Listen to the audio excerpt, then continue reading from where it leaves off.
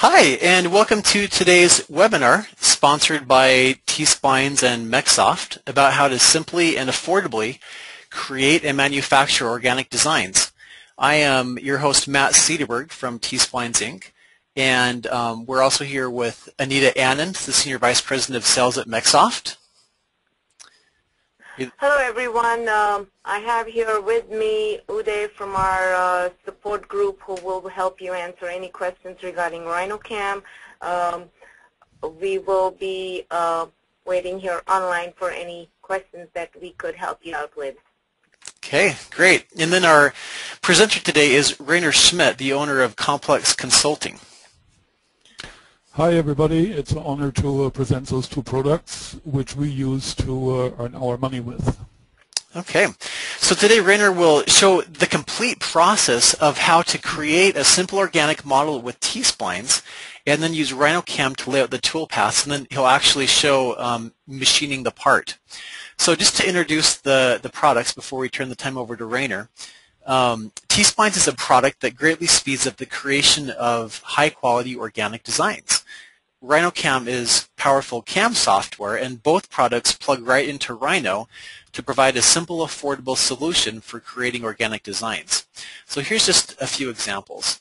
And also, before we get into this, um, just some housekeeping everyone, all the attendees are muted throughout the webinar, but we'd really uh, look forward to interacting with you. And the way to do that is to just type in questions on the side of your screen. And throughout the webinar, then we'll be typing back answers, and also we'll, we'll be asking them to Rainer as that's, as that's appropriate. So please ask questions throughout the webinar. So just some examples of um, of using T-splines and RhinoCam together. Uh, JEH Guitars uses T-splines to make the distinctive shape of their guitars then creates the toolpath with RhinoCam and then goes ahead and, and actually machines the, the uh, guitars. The Animax Designs uses T-Splines to design parts for animatronics characters, then machines a mold using RhinoCam. And then here's just an example of one of our free T-Splines models you can get on our website. A user emailed us back a photo that he machined the part in metal using RhinoCam. So you can see there's a lot of different ways to use RhinoCam to, to make physical objects. And it's one thing to see images of that, but it's another to actually see someone take a design through the entire process. So that's what Rainer will do um, over the next 45 minutes. Um, so just to more properly introduce Rainer and Complex, in Complex Consulting, Complex Consulting is a service provider offering metal fabrication, fine woodworking, casting, CNC prototyping, 3D printing, and other services. They specialize in complex hybrid projects. One neat recent project was working with Mesh Masters to design a 3D scanner rig which allows the capture of mesh data in real time. Complex Consulting also offers training in 3D modeling, rendering, and toolpath generation with a host of software packages. They train both on-site and at their headquarters in New Jersey, which is just 20 minutes away from the Penn Station in Manhattan when they train you at their headquarters, the metal and woodworking routers are available to actually produce the parts created during the training. So I'd like to thank Rainer for actually volunteering to put on this webinar with us. And on a final note, I'll just like to mention that at the end of the webinar, as a special thank you for staying around, we'll offer a valuable coupon uh, just for webinar attendees. So with that, let's make Rainer the presenter.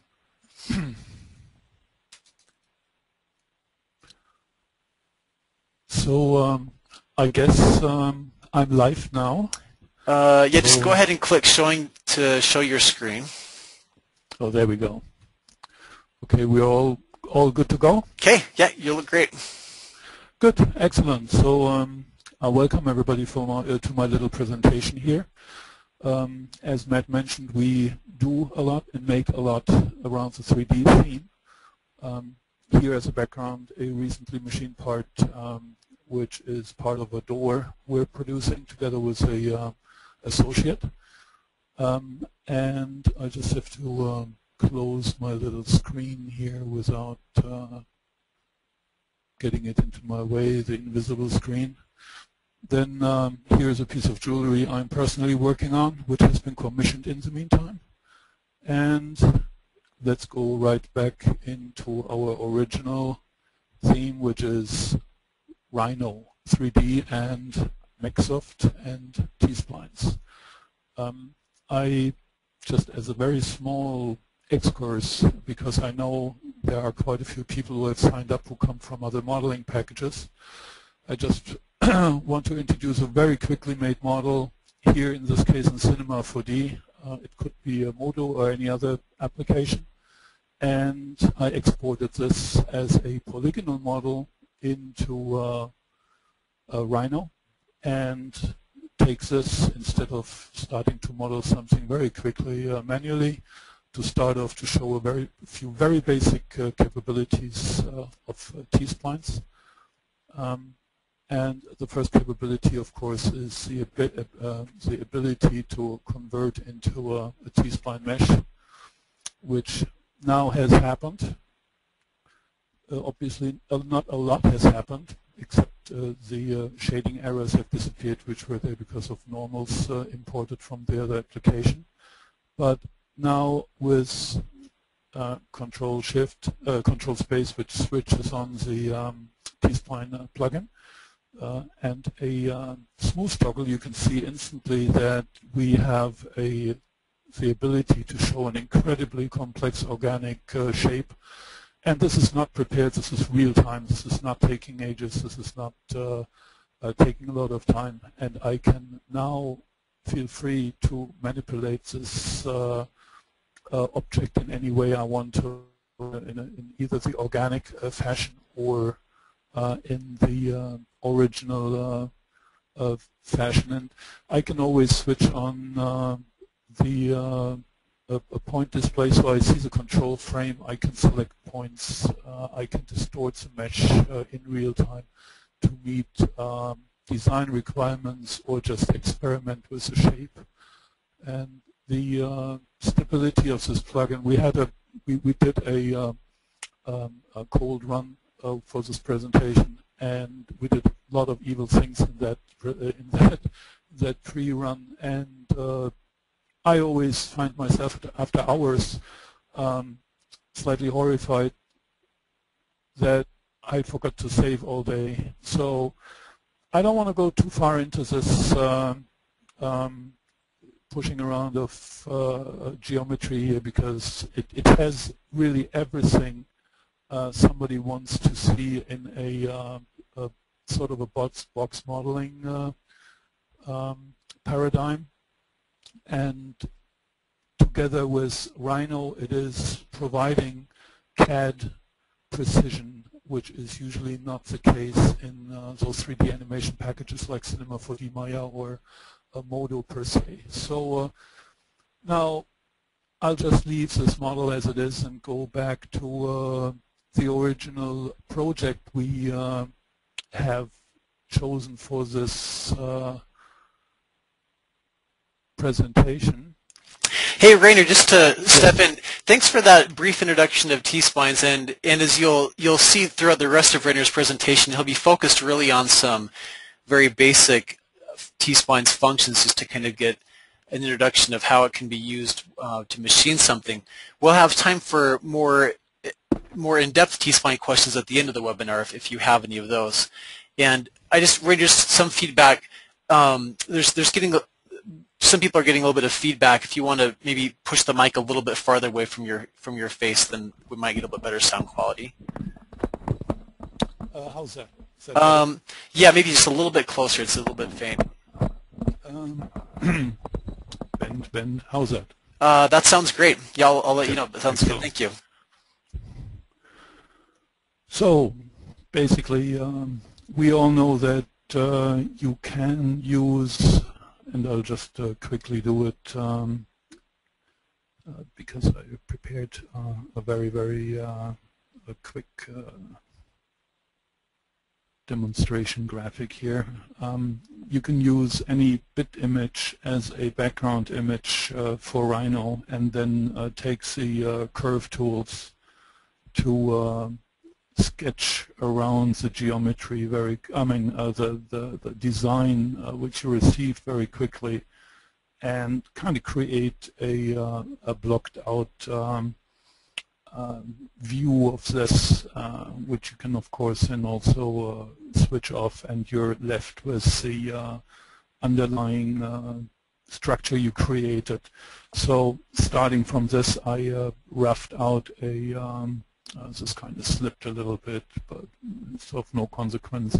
Um, a B, let's imagine a client came and said, we, we, we need a B machined um, for uh, uh, whatever, a uh, sign in a store or just imagine something. So I prepared a little um, um, video to speed up uh, the creation of this, but it all comes down to uh, the construction of a um, flat, basically polygonal setup, which is then inflated and converted into a uh, T-spline mesh. Um, of course, I could just select this curve and extrude it with Rhino. And when I do that, I could bevel the edges and have a nice organic looking shape. But if you have ever worked with Rhino, you know things in the NURBS world are never that ideal. And I left this hard corner in here, for example, um, just for that purpose, because this is a uh, stumbling block uh, which will destroy the, the flow of the curves and, and force Rhino to make a break here, and we will have a very hard time with that corner uh, to smooth that over into a nice beveled uh, surface uh, for the top of the B, for example. So I don't want to um, stay on this topic for too long, but harsh corner, a lot of issues with NURBS modeling. In the end, it's only a patchwork. Um, makes T-splines so valuable, as you can see in a second. Um, so let's take a quick look at this uh, video. Uh, I have to be a little bit careful here so I don't hit any buttons on my uh, webinar screen. and this is the media player.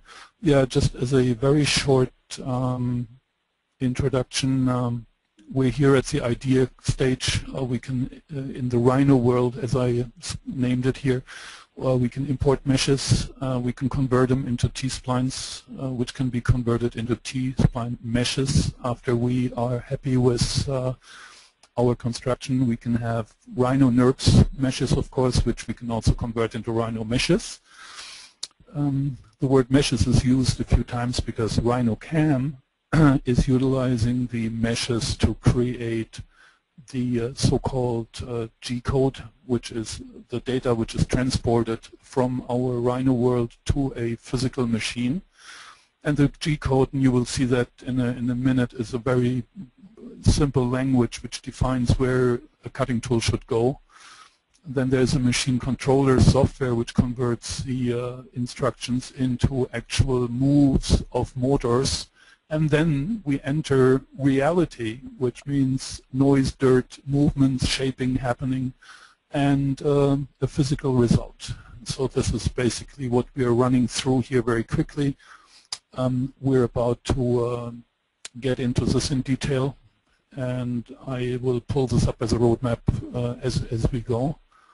Um, here is a, uh, yeah, I, I kind of made the screenshot because I said in the presentation um, on the web, uh, it's our Swiss Army knife. so usually people put that off, but this is actually what I'm running around with all the time. This is the uh, RhinoCam dongle. Uh, this is a, a memory uh, plug with, which contains the G-code, which I carry from the office into the machine shop uh, to feed the uh, machine controller. So literally, it's our Swiss Army knife then uh, this is the uh, machine prototype which we'll use um, to demonstrate this. This is a gantry. This is a uh, uh, for the z-axis which moves up and down, the cutting tool up and down. This is a gearbox for that. Um, here's the motor which uh, moves the gantry from the left to the right. And uh, this machine is um, looks a little bit skeletonized, but it's built for speed. The machine is a 4 by 8 covers 4 feet by 8 feet, and can cut through the diagonal in less than one second. So this is a 4 by 6 uh, steel beam uh, with all solid aluminum on it, so you can imagine the forces on the motors um, to accelerate the machine and decelerate the machine so quickly.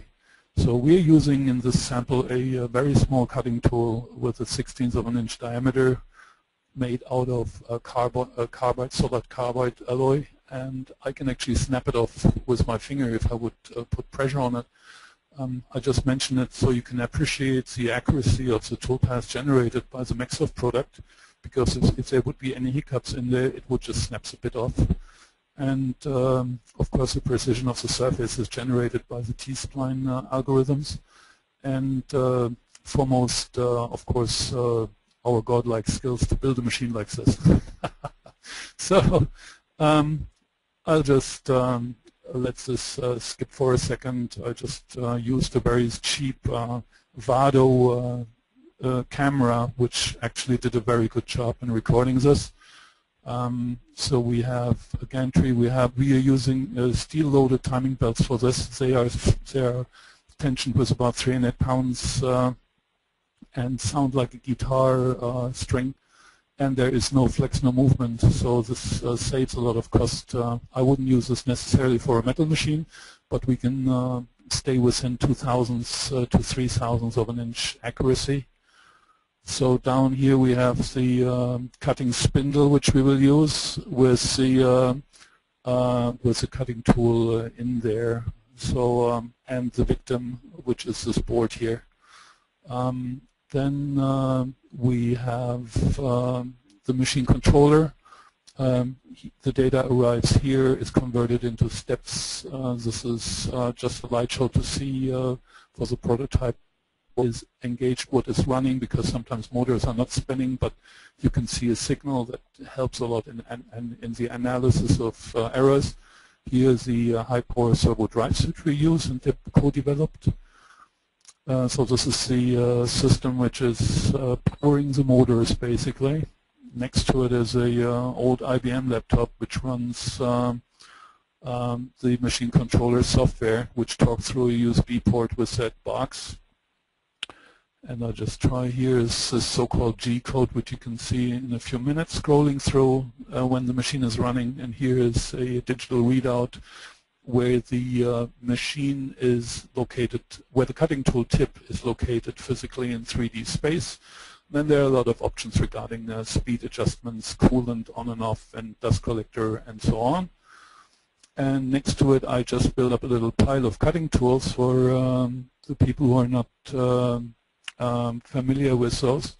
This is called uh, ball end mill, a big one, half an inch diameter. Ball end mill because it is round at the end. Here is a flat uh, end mill. Here is a uh, V cutting tool. It's like a little pyramid. Uh, this is the tool, the brother of the tool, which is uh, currently chucked in the uh, spindle. Then we have all sorts of diameters, shapes, and this actually is known as inappropriate tool. So that's why it's smoked out a little bit. We tried a little bit with cheap router bits and doesn't really work. Um, here is a laser which I can chuck into that uh, spindle. The laser allows me with a very fine point to, pre to precisely position the spindle center over a part where I want to cut, so to set the coordinates. Uh, and um, yeah, uh, just to say, the, if, if you have a tool which has a very bizarre um, geometry, which is not in the library of MecSoft, then uh, the MecSoft software allows you to draw the tool um, shape outline and define it and later um, you can simulate the uh, created toolpath and it will show the correct um, cutting geometry uh, while you define your own little uh, fantastic tool which you had made somewhere. Um, yeah, so basically that is this part and um, at this point I I will go back and go into the uh, the modeling part a little bit. So, Rainer, as you go back to uh, to showing us how this is modeled, um, I think it's I mean for someone that sits in front of a computer all day, it's kind of amazing to me that it actually is going to the T-spline design is going to come out of there. Someone asked a question. They missed the intro. How many axes is on your mill?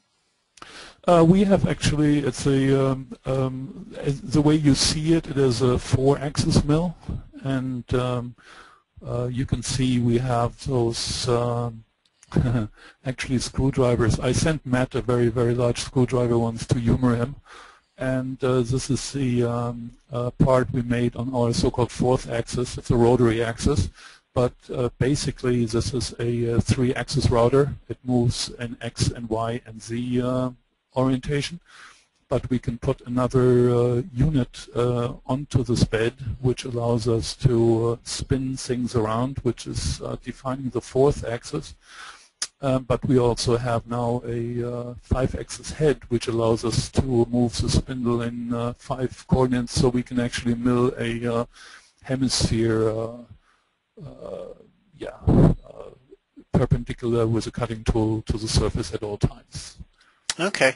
Um, we are getting a lot more questions about your mill setup. I, I think maybe we'll come back to those at, once you go through the modeling and then we can see kind of kind of talk about it at that point. But just one, one, one question while you're getting this up. How much does a machine like that cost? Um, if you take a look at simply the parts and you would just shop for parts and, and buy them off uh, the web or so, then uh, you're about, with a 4x8 machine, you're about at uh, $10,000. And if you have it built, you have to add another month uh, to two of uh, a shop machining the parts. Um, of, of, course, a uh, off-the-shelf machine is can be cheaper or way more expensive the expense of the machine is determined by the um, uh, by by a few choices like um, uh, which kind of linear bearings are you using, how big, how small, how which quality, which tolerances.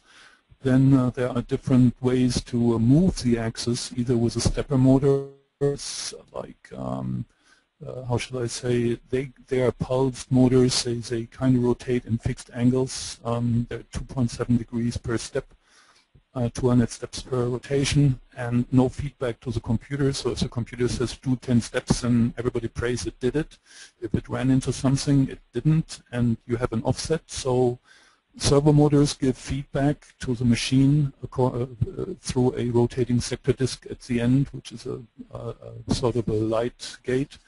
And all this feedback stuff and electronics associated to that is making things a little bit more expensive. So, but part-wise, you're about around $10,000, and then you probably add the same thing for machining and, and time to, to build one. So I'd say uh, a 4x8 machine which is uh, fast, accurate, and reliable is about $20,000. Okay. Well, good. And now it looks like there's some more questions about your exact specs that I'll pass on to you at the end of this, but that, that's good to get a, a ballpark for that. Good.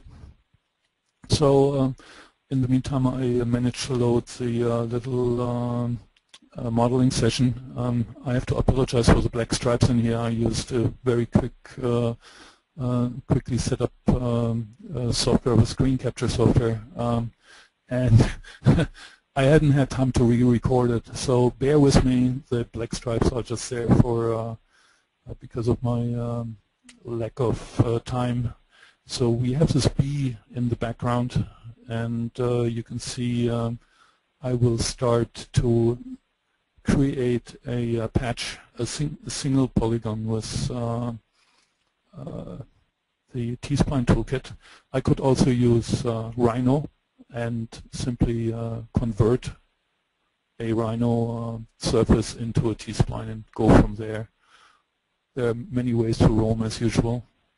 And I'll just skip a little bit ahead. Here we got that thing. And then what I'm doing is uh, nothing else than extend that patch with more geometry and it really works very quickly and if you mess up you have a gap here um, to uh, weld points and, and find errors um, it's, it's, very simple um, points turn uh, into different colors if you have a problem there uh, to notify you about it and uh, to weld things uh, you, you can very quickly select uh, points and you can also determine which point snaps to which point to weld it depending on the way you select those. And of course, Rhino snapping, which I like a lot personally, is uh, completely integrated.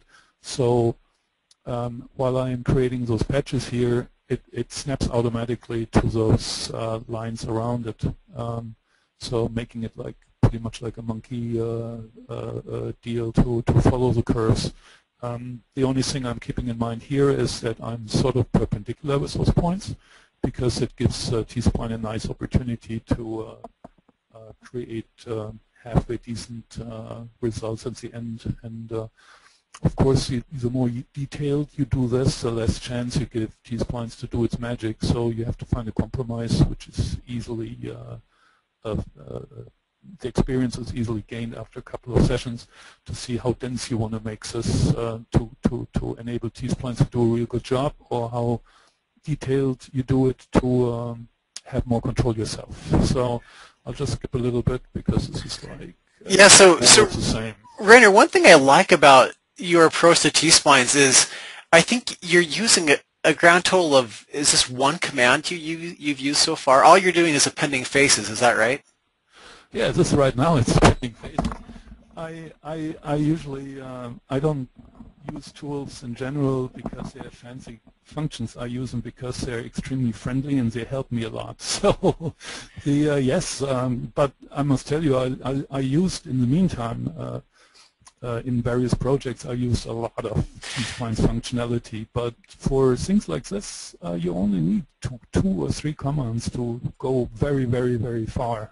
Yeah, and Rainer and I talked about this before the webinar. I, I mean, I would love, I always love to show off a lot of T-splines tools when I give demos, but I, I really like Rainer's approach of just, I mean, really, he, I think he'll use two two commands through this whole process, and our our goal was not necessarily to to show all the all the amazing things you can do, but just to show if you can learn two commands, um, you can make something that looks pretty cool.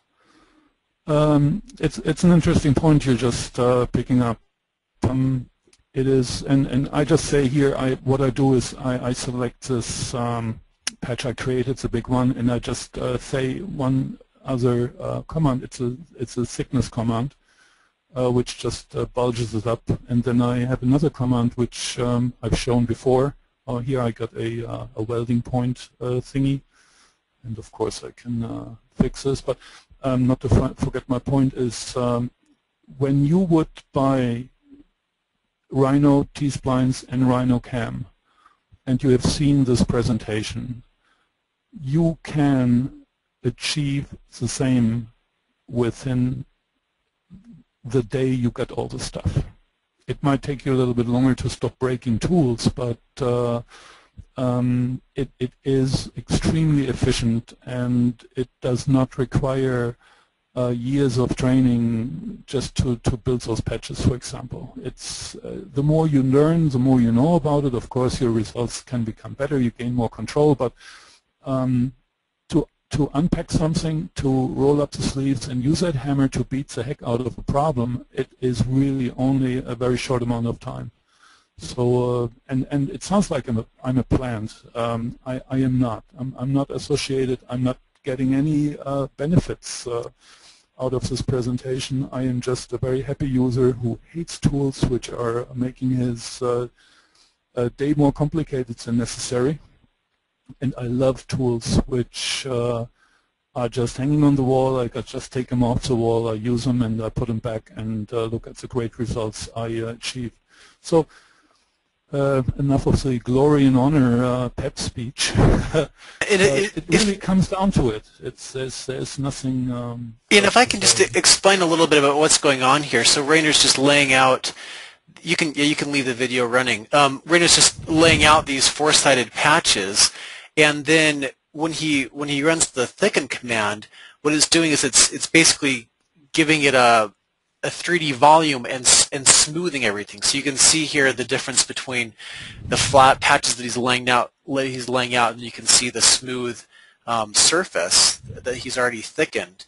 And um, and that's just a very a very basic way of, of creating a, a free-form surface. And, and, you'll notice that there it handles uh, intersections really well. As you can see that Y branch with his B and all That's of that. That's a big, big problem otherwise, yeah. Yeah, and all that smoothness just kind of comes automatically when you lay the patches and then thicken it.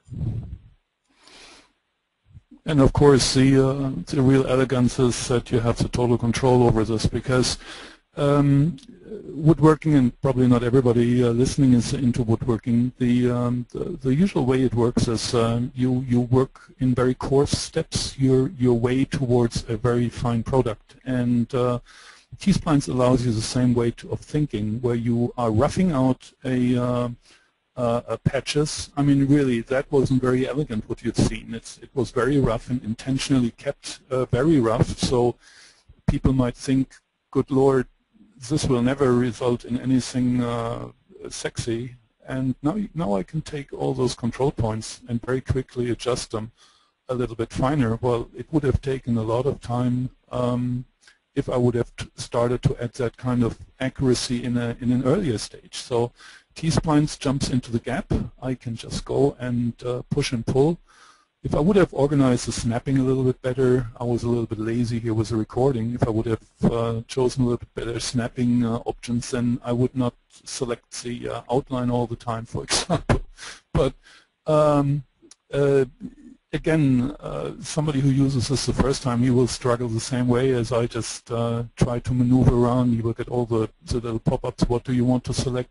But in this demonstration, I think it's pretty helpful to see that you actually get those helps uh, from all the modules involved. So it's a overall very friendly experience if you start to uh, work with uh, those tools. And what we're doing here is extremely complex, actually. The uh, all the math involved, all the geometry changes, uh, they're just incredible. And uh, what we do in the meantime uh, in a lot of cases is we're so confident in, in using all the stuff that we allow uh, clients to look at uh, the screen when we're when we're defining toolpaths and say, listen, this is what you want? This is better?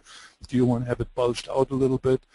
And um, it it, it is a great way to uh, instill confidence uh, in what you're doing and uh, involves the customer in just uh, where he hasn't been involved before. So it's actually been very beneficial for um, um new business and uh, exploiting uh, existing business a little bit better.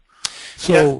If I, if I can just step in one, once more, so so what Rainer's done is he's blocked out the T-spline. Now he's he's going in and moving the control point so that it's it's coming to within his tolerance of, of his curves. There's there's definitely ways to use T-splines to nail the curves at the start without having to do oh, this yeah. dragging afterwards. And I, I, can show some of that afterwards, but um, but I think this is a great intro and, and probably time to move on to, to show RhinoCam now.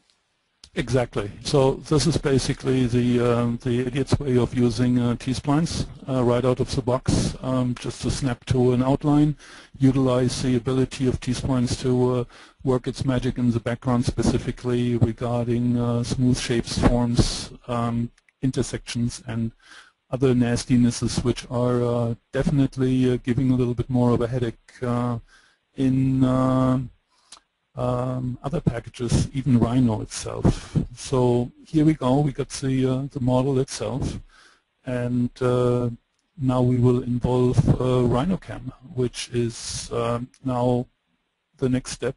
I think I still have uh, that little roadmap, but well, we're now creating, we're not playing with the meshes anymore, we'll just uh, uh, take the shape and um, try to generate a toolpath. I prepared another scene for this. So not to cheat anything, but um, just to, uh, uh, is that one? Yeah. I don't think so. Let me just um, be sure that I have the right, oh this is the one, okay, here we go so I got the, the, right model. Here I made a jump ahead. I um, uh, created a mesh out of T-splines and I used, um, Matt criticized me for that already, um, that I used a relatively coarse uh, setting for the mesh generation. Um, he is right, it could look much more uh, sexy, um, but for the machining you always have to keep in mind uh, what machine um, parameters you're using and how fine do you need it.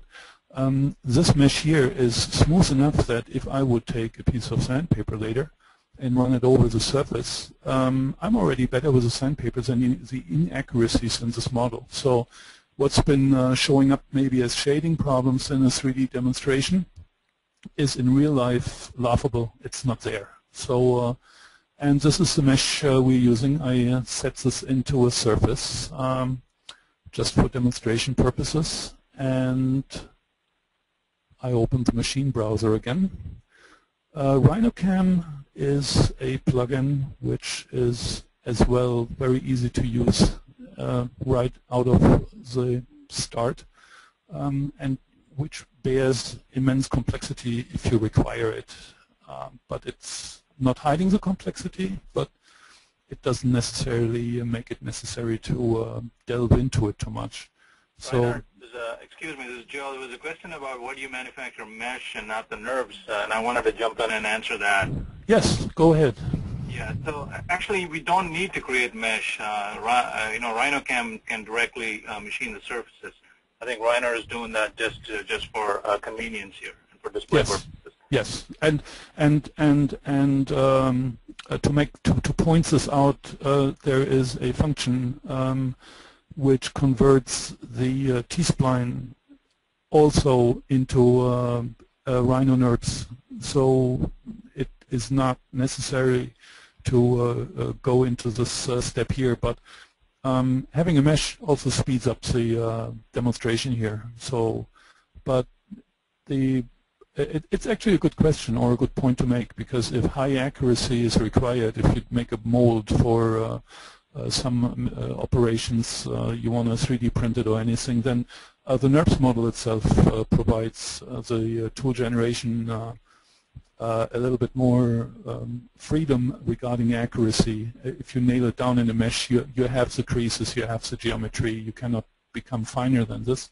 But if you throw a NURBS uh, into uh, then it can choose it. That's correct. So we can we can use NURBS at this stage um, from uh, which is either with RhinoCam itself or it is a convert from uh, T-splines. Um, the the T-spline NURBS surfaces are awesome. It's uh, the way the patches are generated are, is is is is uh, yeah perfect. I've never seen a problem with that. So, but uh, let me go on with. Um, uh, does that answer the uh, the question for now? Uday, is that yeah, sufficient? So. Good. Yeah. So.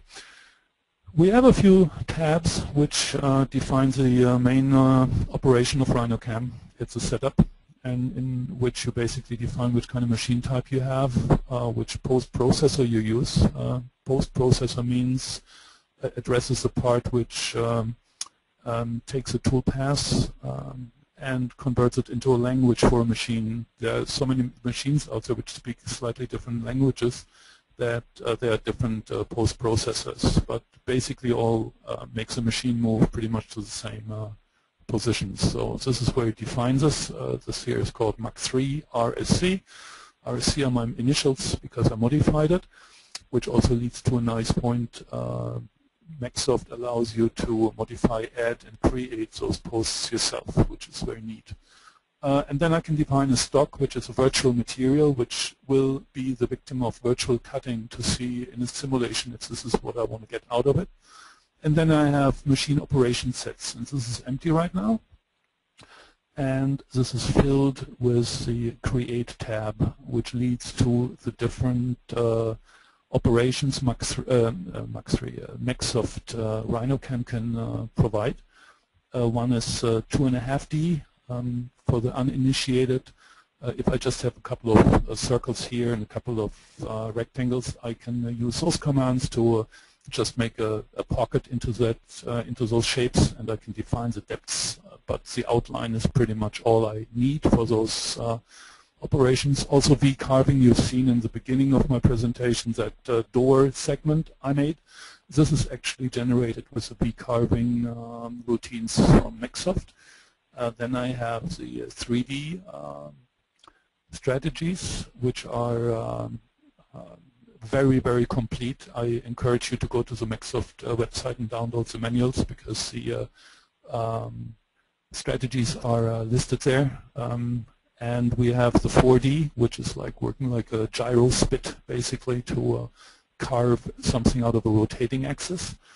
And then we have drilling operations, uh, which allow me to uh, use to, to chuck a drill into the uh, collet of my spindle and then drill deep holes, for example, while the drilling uh, is is is uh, slowly advancing uh, up and down. Um, yeah, those are the basic strategies. In our case, we keep it simple again. Um, we can spend the whole day in, in discussing uh, different strategies. Um, and uh, we'll just take uh, a so-called parallel finishing path, which uh, is opening here. I can select uh, machining regions, and I have defined a simple curve, a, a rectangle around this uh, piece, which um, is then defining the region RhinoCam should look at. Um, this could be a very big part with lots of lots of different uh, segments and uh, with a curve around a focus uh, it allows me to specify which part of my big uh, project I want to machine. So this is defining where it should look at. Then I can define a, uh, a, a, tool uh, which is a 16th of an inch tool here already prepared. Uh, flute links, tool links, tool holder, di diameters and stuff. Um, RhinoCam is, in, is able to uh, provide information. If uh, you cut very deep and very complex passes, then uh, it will it will show you where your uh, uh, spindle would collide with existing geometry if you fill in this with meaningful parameters. Um, yeah, uh, tools, there's, um, I didn't show this, uh, but it doesn't look like it here, but there is a big tool library, a management management system behind this, which allows you to uh, uh keep your zoo of different cutting tools organized and then uh, load them here um, as necessary. For smaller projects, I, I, must say that I'm guilty of just entering them every time. I'm not loading it. Um, I'm, I'm not really utilizing that a lot, but it's they're bigger shops and you can organize everything. Then uh, here with feeds and speeds, I can tell uh, the system uh, uh the spindle speed, how fast uh, the uh, spindle cutting spindle should rotate while cutting.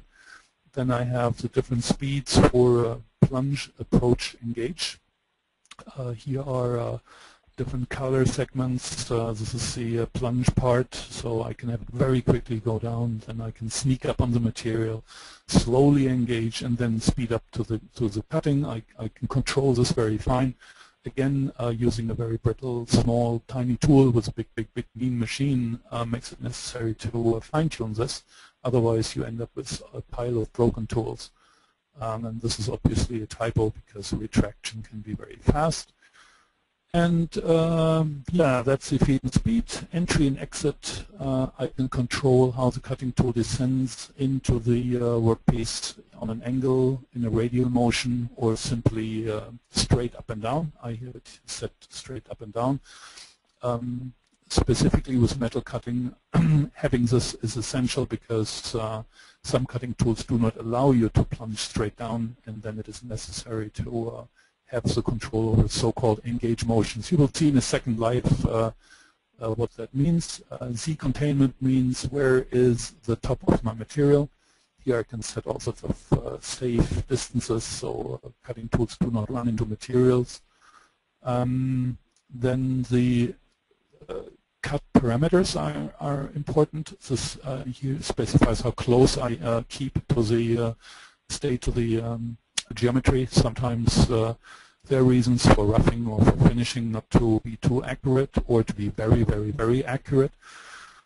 Then cut direction is a very interesting point. You know, the cutting tool only rotates in one direction, and here you can control which way the cutting tool is um, presented to the material, uh, only in one direction all the time, or mixed in both directions, backwards and forwards.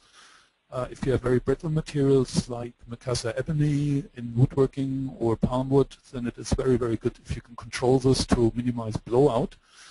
And in uh, metalworking, uh, you can determine uh, the uh, tool marks maybe you, you may leave. Um, then start uh, side, you can determine which corner of the piece you will start with your tool pass.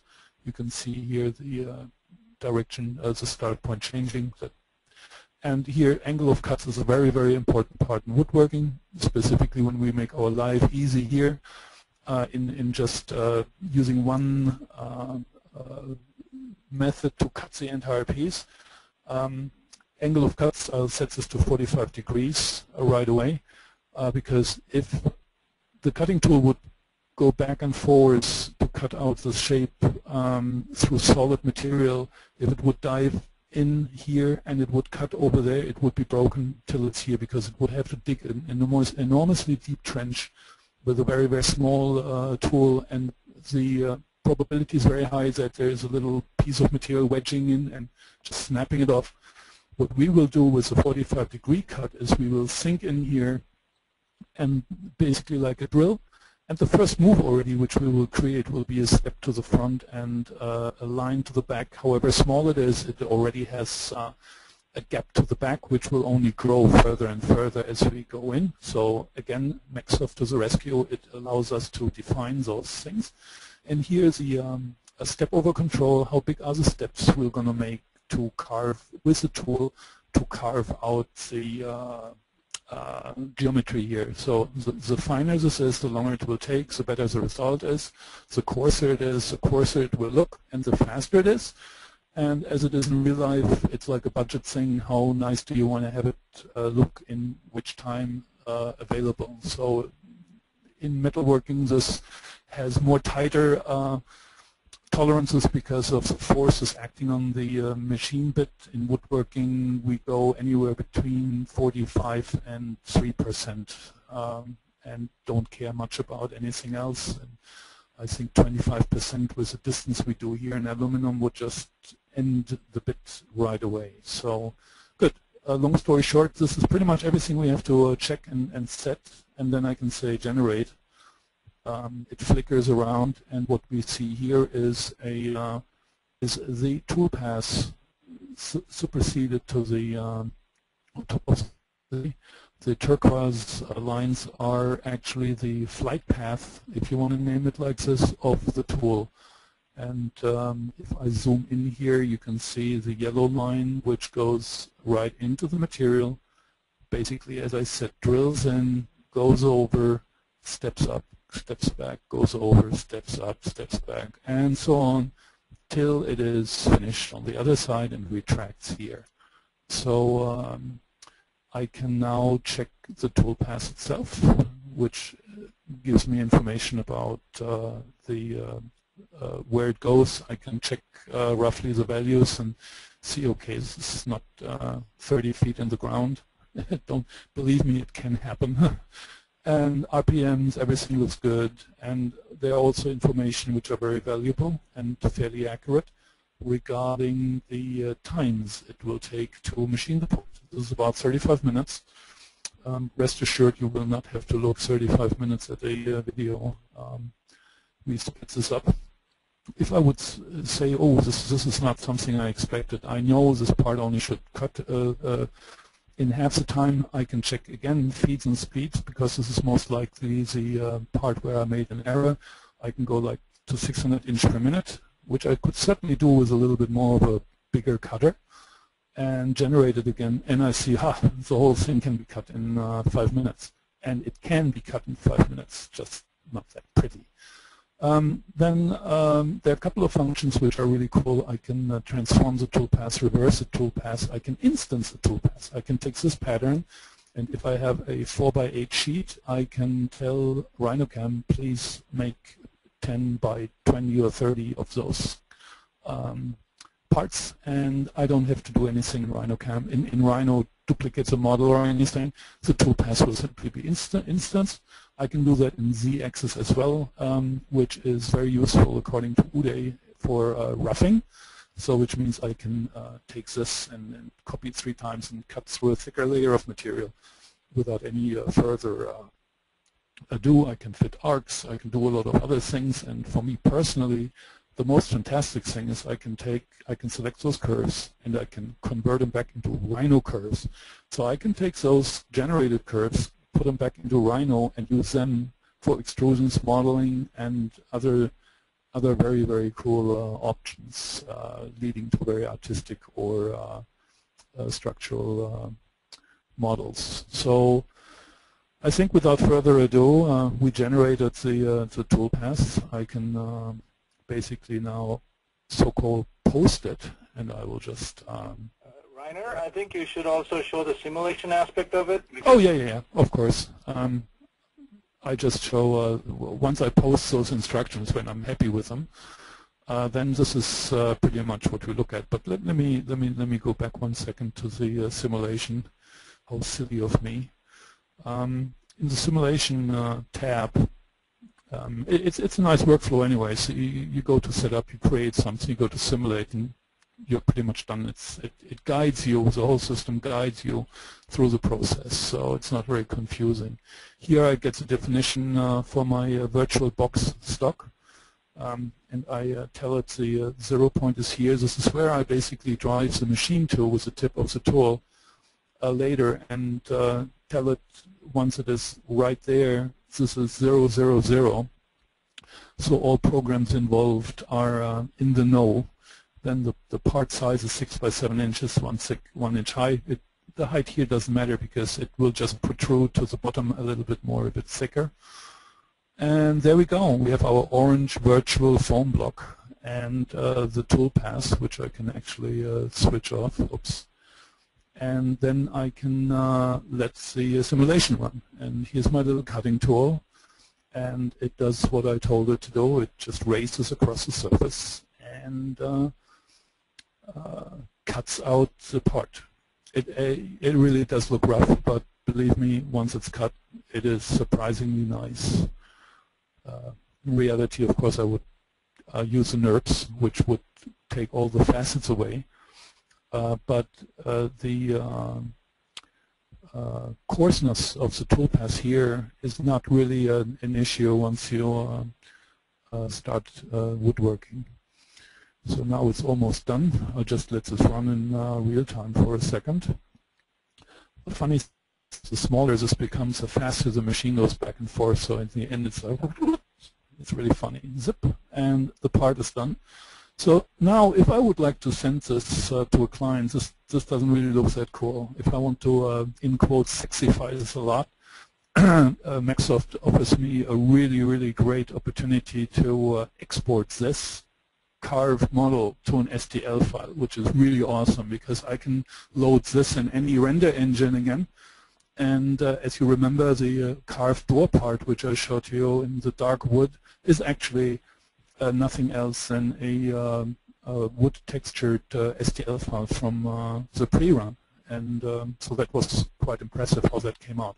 So you can use uh, RhinoCam also to generate an STL model or to take the cut geometry uh, as you expect it and uh, render it in any other application. You can also use it actually to model stuff. So there are a lot of options in, in this simple uh, uh line again. So now uh, back where I uh, was, um, I can just post the instructions and the instructions look like that.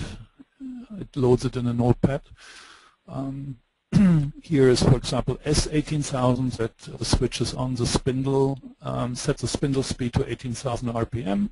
Then MO3, MO8 is start as a dust collector, and uh, then we have the first uh, positioning command, go to Z coordinate 0.0388, and then it just goes from there to uh, a set uh, feed speeds and more coordinates and it starts to uh, walk off the pattern I gave to it. So after a while you see in the beginning there was no model so it's only X and Y uh, uh, movements to clean out this flat and after a short period of time it will encounter the uh, geometry and we see that there are bursts of the positionings as well which means that here it starts to probably cut um, right there the first couple of uh, cuts. So, and uh, a brief check to see that this is uh, um, 0.15 deep um, makes me confident. If this would be 3 inches deep and the cutter is only 3 sixteenths long,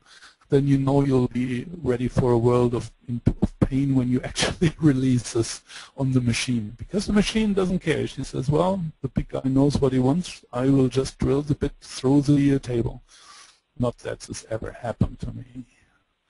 So, um, and after quite some while, what did we say, 34 minutes, uh, we stop the program, switch off the dust collector, and end the session. So that's pretty much uh, the modeling part. And um, now we can uh, very quickly look at when I can pull up my uh, media player again. Now we can basically look at the uh, machine running. Here you can see uh, uh, the uh, here you can see the coordinates, uh, the G-code, which you saw as a, a, file which has been loaded in here by my Swiss memory memory plug. Uh, you can see the uh, now this uh, x, y, and z coordinates. They're alive, and this is actually um, exactly where the machine is in in coordinates right now. And then you can see the lights are blinking, signals are are are, are flowing, and here's the start of the session. And here is it dives in 3 16ths and starts to cut uh, the part. And as you can remember, there's quite a little bit of a uh, flat part to uh, overcome. And this is the beauty of uh, fast forward. So those are the first few minutes. And here again you can see the coordinate move uh, of the uh, machine. This is the first machine we ever built with those bells and we were very skeptical but it was so cheap and uh, it turned out to be such a great uh, system to drive a woodworking machine. So now I'll just, uh, here you see the machine going up and down and it's nothing else than the translated uh, commands in the file you've seen before and it basically traces the um, turquoise lines uh, from the Rhino uh, session here. Oops those turquoise lines are basically now uh, machined in uh, in real time. So this takes 30 minutes, and I'll spare you the 30 minutes. At one stage, I decided to uh, put my shop watch there, uh, just to find to my horror in a minute that the dust collector here was about to swallow the watch. So that was one of the funny moments when I recorded that. I just saw the blink of my eye when it started to disappear there. So um, I moved the dust collector a little bit away. So we're here at uh, 210 one day where I started to cut it. 212, 13, and you wouldn't believe the noise I have in my headset right now. 22, 27, when I mention Shopwatch, it's interesting. In my shop, we do so many different things. I have a uh, garment stand. I have a totally shredded uh, overall, which I wear when I'm in a shop like this. I have my jeans hanging there with my shirt for my office, and I have my uh, suit if I have to run out to a client. and here we go, we have uh, 230, and as you can see, I mentioned before, it uh, speeds up uh, the movement a little bit. And uh, there we go. It just finished, and the spindle stops. Zingo, and we can take uh, this way and move the part out. So usually you cannot see this uh, in that depth because we have uh, mechanisms which prevents that you can go up that close to a machine uh, because the machine can be unreliable, servo motors can fail, and then you have six horsepowers uh, throwing stuff at you, and uh, that's not very nice. So this is uh, that movie regarding our B. I have very quickly thrown in a a movie with a V carving, just to, uh, for one minute. Here you can see, by the way, the fourth axis, which was uh, referred to. Um, it has a chuck uh, where you can put a rotary part in. It has a, uh, another support on the other end, and then I can drive this uh, tool basically on top of this part. And while this rotates, it can cut into the part, thus creating things like the screwdriver. And the I, I modeled this pattern in Rhino and I duplicated it four times and I changed uh, each quadrant around a little bit so it breaks the uh, monotony to the eye and uh, after a while it turned out real nice. The client was very very happy and actually is uh, ordering a door with about 12 of those cassettes, which are a little bit larger. So it does provide income. Uh, carving this would probably take a whole week. It will, it will require cleaning up for about 20 minutes when it's done with a chisel to get rid of a couple of flakes. And I might even go a little bit slower with the um, uh, final wood. By the way, this is hard maple, which is about the worst thing to machine. It's the reason why we have uh, some stuff left in a while, because nobody wants to deal with it. And uh, here is the uh, result. And this basically concludes my little hasty demonstration from idea through conception through a very brief T-spline modeling into machinable parts. I hope it was uh, uh, explanatory and fun to watch. Thank you very much, Rainer. I, I, I think I mentioned this. Just I sit in my office every day on the computer, and just to see see the whole process of going from the CAD model to actually getting out in the shop and having the wood machined is just it's, it's really neat to see the whole process and how how how straightforward it, how straightforward that is. Yeah. We'll so. give you a rebate on the machine if you want to buy one. Great. Sounds good. Um, uh, talking of machines, I just wanted to chime in here and say that uh, RhinoCam is not restricted to just Rainer's machine. oh, no, no, no, no. Three controllers. So we, out of the box, we handle over 200 controllers. And we also have a, a configurable post-processor generator. So if you have your own machine, if you build your own machine or, some, or you have some other manufacturer's machine, we can write a post processor very quickly. Yeah, I just pulled it up. Um, I just pulled it up here, and the uh, da, da, da, and uh, here's uh, a very brief uh, look uh, from A to uh, Z, Y. which kind of machines are supported right away. And I, I, worked on a lot of those ShopBots and ShopSabres and stuff, and the, the posts delivered with it are, are all flawless. And if I would just go and, and uh, uh, just uh, edit one, then this is the screen you would have if you would have to define your own, which gives you for motion, circles, spirals, helical, spindles, feed rates, gives you all the options uh, to define your own stuff, uh, which is extremely easy. You've seen before feed rates were like F50 or so, and this is basically what you define, feed rate code and the feed rate, and then it says F50, and it gives you even a uh, sample output. So it's you don't have to be an engineer uh, or rocket scientist to define your own uh, post processor. So um, good point. It, it has a lot of machines it can control, and if you have one, um, which where you know which commands are required to make it move, you can enter those here, and you can end up with your uh, own machine. Okay. Um, we have some other questions to get to. Before we do, though, I just um, I just I, I, promised an offer at the beginning of the webinar. Um, we've just been really pleased as we've gotten to know uh, the guys at MecSoft more over the past few months. How how simple it really is to go from uh, T-Spline's model to have it machined using RhinoCam.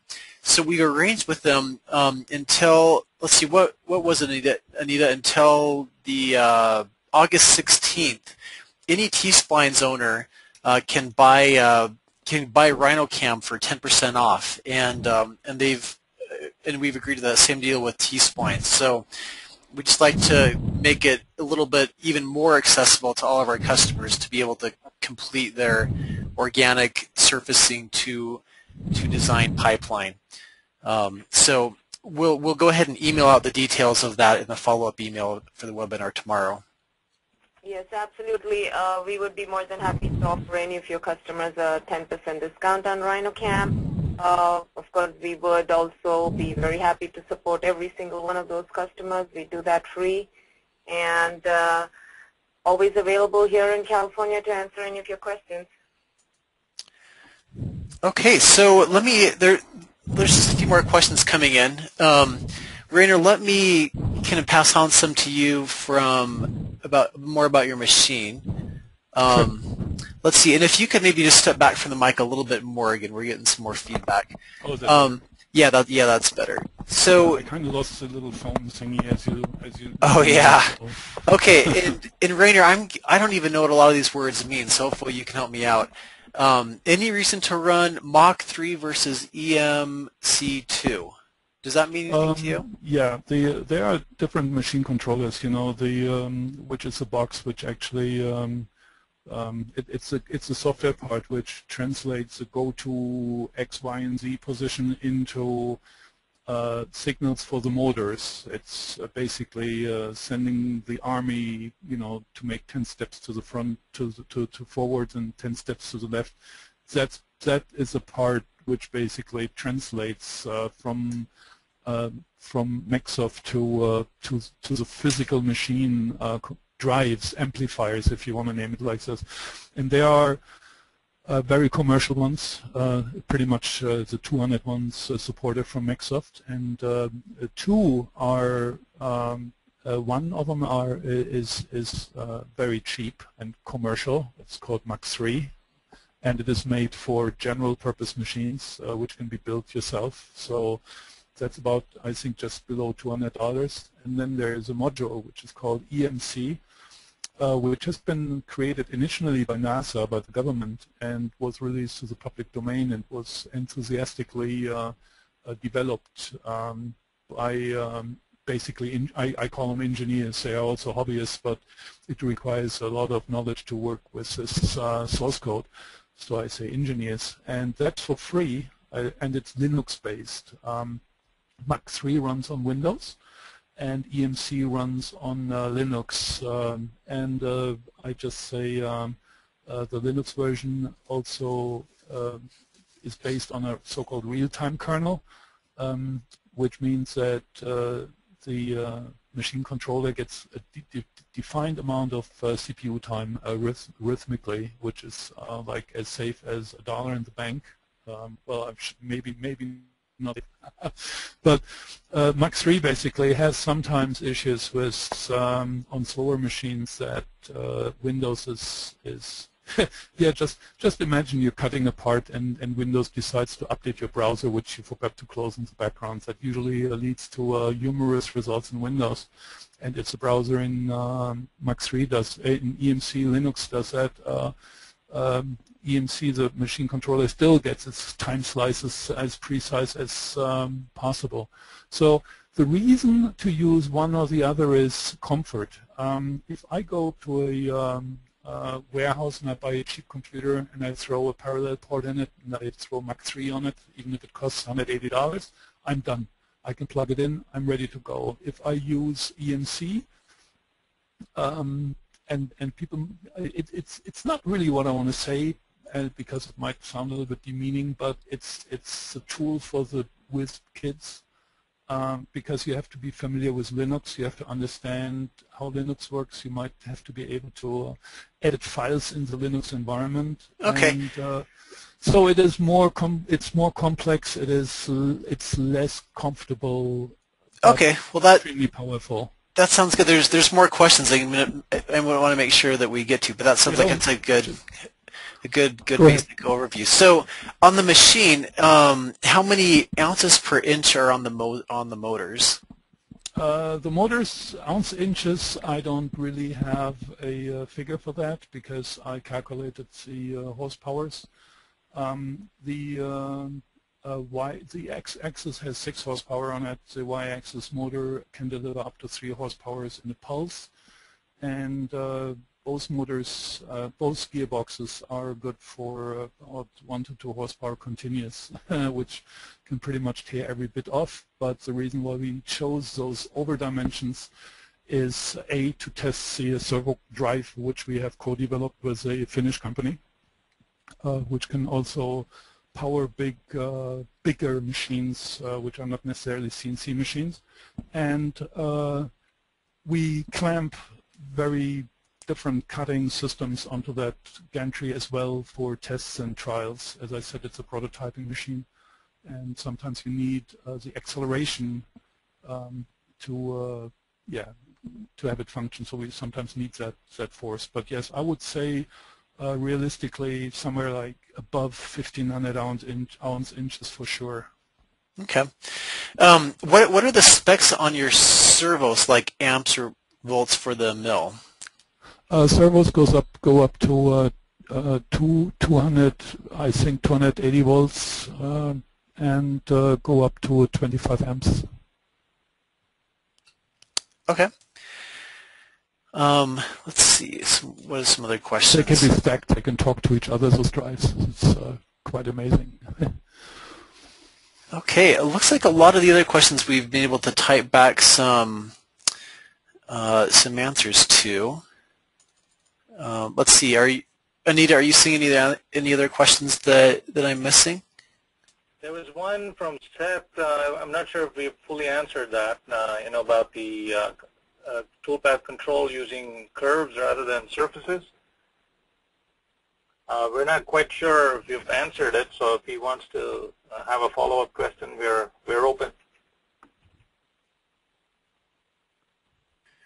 Okay. Um, let's see here. So here's another question: Can RhinoCam be used with a rapid manufacturing machine like a SLA or an SDM machine? Uh, RhinoCam is for a CNC machine, uh, so we really don't interface with uh, rapid prototyping machines directly.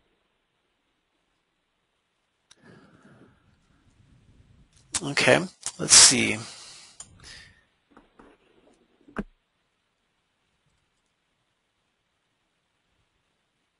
I think that's there's been a lot of questions answered, but I think we've we've taken care of most of them through typing. So um, yeah, I think, didn't you want to uh, show a little bit more um, T-spline wizardry quickly?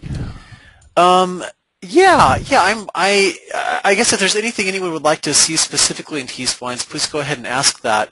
We do have a lot of um, videos on our on our website, um, and maybe I can even maybe I'll even take back the the presenter. Um, but if you let's see. If you go to our T-Splines website, um, we just barely added some new uh, videos as well. So if you go to T-Splines for Rhino, um, we have some new new videos here showing how to um, quickly make uh, arrive at a shape and design with T-splines. Also how to how to work with T-splines to create smooth blends and transitions. Um, yeah, so if there are any specific questions, I can go ahead and address those. But but otherwise, I would just recommend uh, going to our website and checking out our uh, our various uh, tutorials. We have a lot of video, video tutorials here.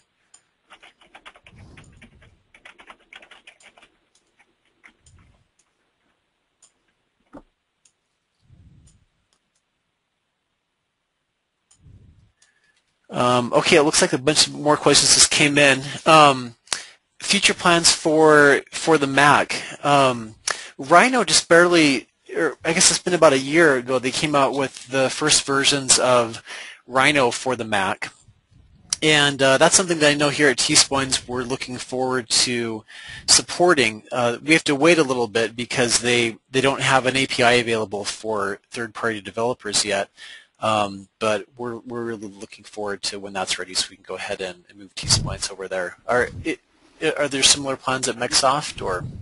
Uh, again, we're also looking at it. Uh, we're watching it closely as well uh, because, uh, you know, when Rhino goes over to Mac, uh, we would like to get an idea of how many uh, users out there would really like to get a CAM product out there as well. So okay. we like to, we don't like to be on the bleeding edge of technology. Let me put it that way. Um, so here's a question from uh, about the differences between version 2.2 and 2.3 in T-Splines. 2.3 is just a free upgrade, so I would just recommend downloading that. Um, a lot of it, there's a lot of new languages the, like Italian, French, Spanish that we're supporting, um, better Grasshopper support. So I'd recommend just, just getting a free upgrade, um, and you can get that at our website. So. Um, Let's see. Here's another question. Do you have any experience with high-speed milling strategies? Either Rainer or the guys at MecSoft, any, any input on that? Um, uh, I'll have Rainer answer it. I think the question was more for the machining part, and then maybe I can talk about the RhinoCam part of it afterward.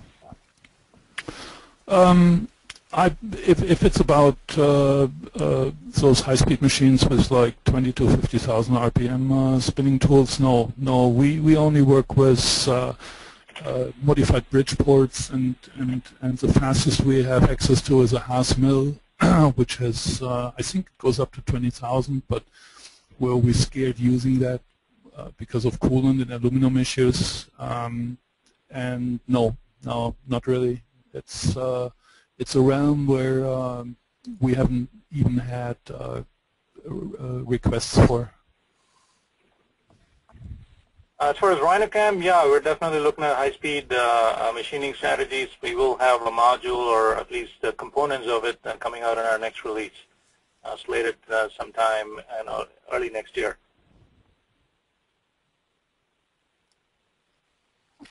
Okay, um, here's another question about Rhino 5 64-bit compatibility timeline.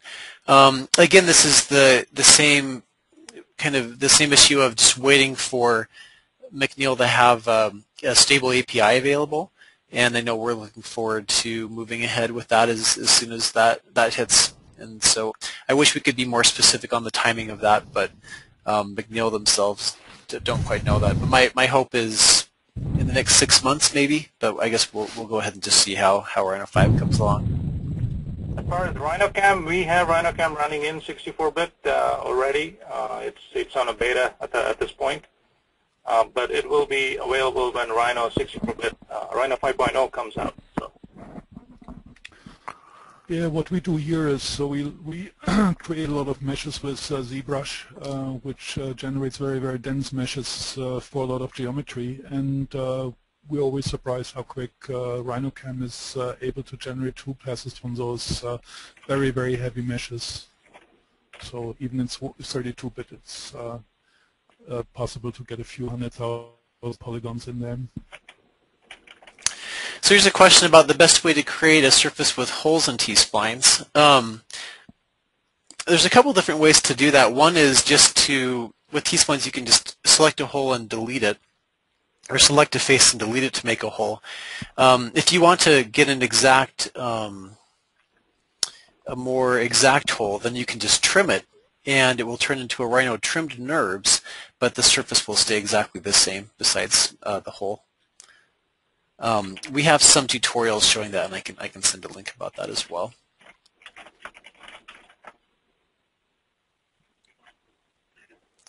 Okay, well maybe we'll just uh, wait a couple more seconds to see if any more questions come in, but otherwise, uh, thanks again for attending the webinar.